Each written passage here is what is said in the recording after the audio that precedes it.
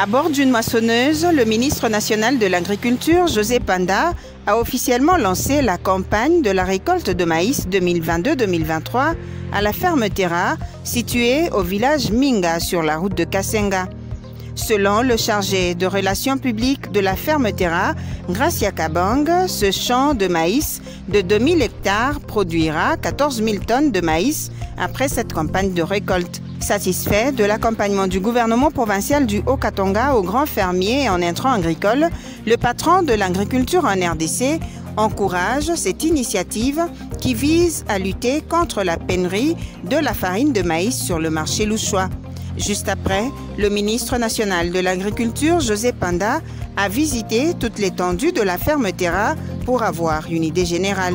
Le ministre national se rendra par la suite à la minoterie Africa Milling où plusieurs sacs de maïs sont transformés en farine. José Panda s'est dit déterminé à accompagner cette entreprise privée. Au Congo, il y a moyen de produire et il y a moyen de transformer. Et qu'il faut simplement euh, que l'État joue son rôle. Pas le rôle euh, d'agriculteur, mais le rôle d'engagement, le rôle de régulateur. Et c'est ce rôle-là que nous nous amenons en approchant les privés qui, comme terrain, qui est en train de démontrer qu'on est capable de, produire en RDC. Et cela va avec euh, l'accompagnement de l'État congolais dans la vision du président de la République, Félix Antoine Tshisekedi, qui voudrait euh, qu'il y ait une revanche du sol sur les sous-sols.